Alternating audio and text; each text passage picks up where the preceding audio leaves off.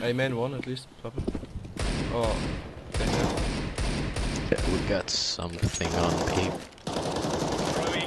At least one guy or two. Flashing out. Or Deploying this position, you know, waiting for someone to show up, and by the time you know you do and you realize, oh, they're coming out the door as well, door as well. I kind of want to do this quick. You turn around, and all you have to do is aim at this height. Like this is going to be your indication, right? And I would say, you know, anywhere here is fine. You've got your you, you're doing it quickly, right? So you don't want to spend all day. You just want to sort of turn around, and you're playing this. You turn around, and you do this, and that's it.